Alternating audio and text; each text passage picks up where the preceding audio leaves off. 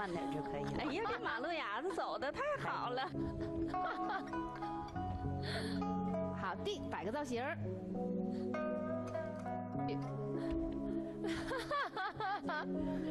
阿姨，你照顾照顾咱叔叔。他看他型儿高，显得个儿像高一大截的。他那大跟头多高啊！我们担心的这个宋拐倒是没出现哈，胳膊没动。关键的问题就是在这儿。哎呀，我们收入标准就很可爱，很可爱。那您在择偶的这个目标当中，您是想找一个艺术气息特别浓的，能陪您走模特步的那样的人，还是说就想找踏踏实实过日子的？我最想找的就是跟我一样性格开朗，喜欢旅游，嗯，而且懂得浪漫的。你觉得他具备这几个条件吗？好像不全具备吧。文文不得不跟你讲哈，如果说你在模特队招聘招一个男模的标准，你那个说法没有问题，往上再加两个。筹码一点问题没有，但是如果找老伴儿的话，我只看到叔叔的真心实意，他在意你，在意你三个字比啥都重要，千金难买呀。所以阿姨呀，咱别用找招模特的这个招商标准去要求你未来老公的标准，这样的话，我跟你讲，你容易啊成为你寻找幸福这个绊脚石啊。啊，跟你讲啊，你说生活需不需要浪漫？真的是需要的，但是你需要这个人和你能够共同的心灵上有所碰撞。如果你要是总想着生活当中就像我们走。T 台一样，没有那样的。更多的时候，我们是踩地走马路牙子。我说那种浪漫吧，不像你们想象说非得走模特，嗯，哎，最起码了解的是哪种？那不能像那个，就是真正老人就知道吃完事儿往那一坐，啥也不懂。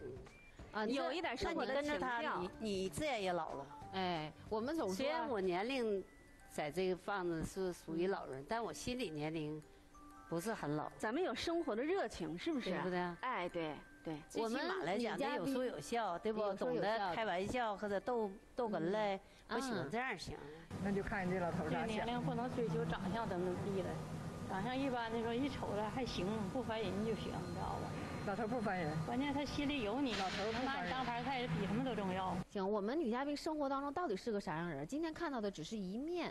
那么我们通过一段短片，更多的了解一下咱们女嘉宾。二八三九号女嘉宾李凤兰，六十六岁，抚顺人，丧偶，退休，有住房，女儿已婚。我叫李凤兰，曾经是女汉子，现在是小女人。我以前在厂内开解放车送机件。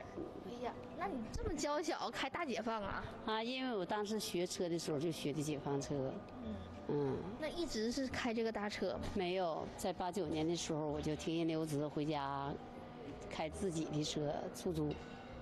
我喜欢热闹，经常和同学们出去旅游聚会。嗯，我就跟那个同学的聚聚会，完群里头集体活动参加的，就这些。啊，一般都去参加什么活动呢？就是周边抚顺周边的小城市旅游啊。我是一个特别活泼开朗的人，有房有退休金有朋友，虽然生活无忧，但是总感觉身边缺少一个伴。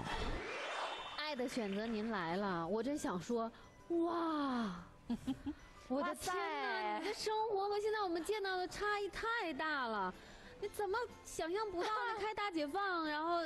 走下来就是一个穿旗袍的女人，你知道大解放那个一点助 动力都没有啊！你往那车前面一站的话，要坐车模，这车不得刷刷卖啊？哎呀，开开解放的时候是年轻的时候，现在老了就得过老年生活，对对不？那会儿也风华绝代吧？啊，那阵儿挺啊挺风光。你你看那欧式眼儿。